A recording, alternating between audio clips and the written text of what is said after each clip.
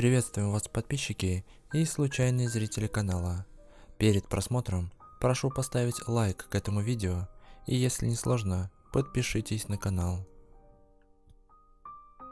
Умер руководитель фракции «Единая Россия» Переславской городской думы. 24 августа скончался глава фракции «Единая Россия» в Переславской городской думе Сергей Царев. Ему был 41 год. По нашей информации, причиной стали проблемы с сердцем, рассказал коллега Сергея Царева по Думе Евгений Работников.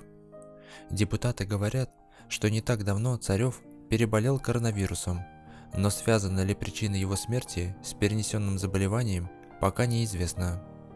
Порядочный и рассудительный, эрудированный и целеустремленный Сергей Глебович всегда спокойно отстаивал свою точку зрения – демонстрируя знания в правовых и экономических вопросах, пользовался у коллег и своих избирателей заслуженным авторитетом и уважением. Это тяжелая утрата для нас, безвременная и невосполнимая.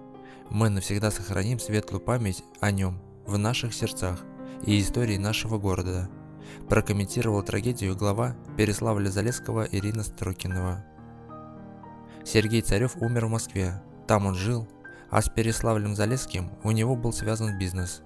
Он занимался продажей участков в коттеджном поселке Савельево в Переславском районе.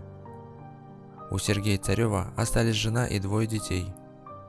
Напомним, место лидера фракции «Единая Россия» в Переславской городской думе Сергей Царев занял в 2019 году.